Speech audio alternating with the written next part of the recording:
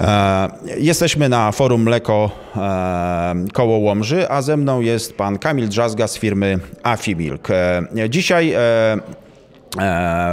Afimilk przedstawił prezentację o tym, co rolnik musi wiedzieć o swoim stadzie. No właśnie, co rolnik musi wiedzieć o swoim stadzie?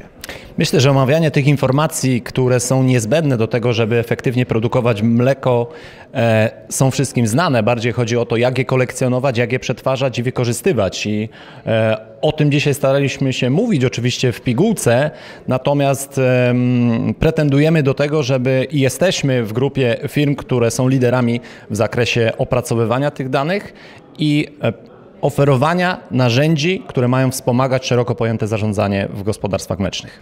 Czyli wchodzicie w rolnictwo 4.0. Nie mamy wątpliwości, e, Szanowni Państwo, i wiemy, że e, ta, mm, ta przestrzeń jakby biznesowa, którą e, Afimilk reprezentuje, to jest coś, co wpisuje się w, w atmosferę przyszłości, w atmosferę mm, cyfryzacji e, produkcji e, rolniczej i tego biznesu, który, któremu, który chcemy wspierać na co dzień. E, A co praktycznie, jak rolnik praktycznie, jaką korzyść wynosi ze stosowania waszych systemów?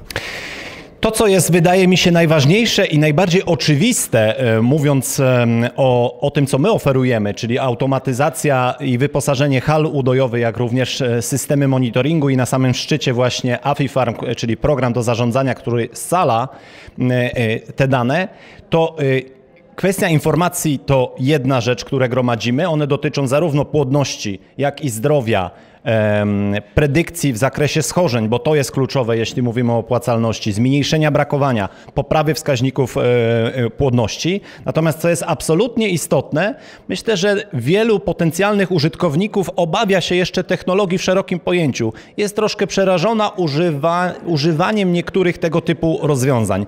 To, co jest również na samej górze, jeśli chodzi o, o naszą misję, jeśli chodzi o misję Afimilk, to tworzyć rozwiązania, które równocześnie są przyjazne w użytkowaniu i odsunąć strach od tego wszystkiego. Ale na szczęście e, coraz więcej młodych jest w rolnictwie, coraz więcej młodych podejmuje decyzje i w tym jest pewnie nadzieja. Kapitalnie to obserwujemy, odwiedzając codziennie naszych e, klientów. Także cieszymy się, bo możemy też zachęcać to, te młode pokolenia do tego, żeby inwestowały w siebie jako potencjalnych właścicieli gospodarstw, e, które e, wykorzystują najlepsze możliwe dostępne technologie. Dziękuję bardzo za rozmowę. Serdecznie dzięki.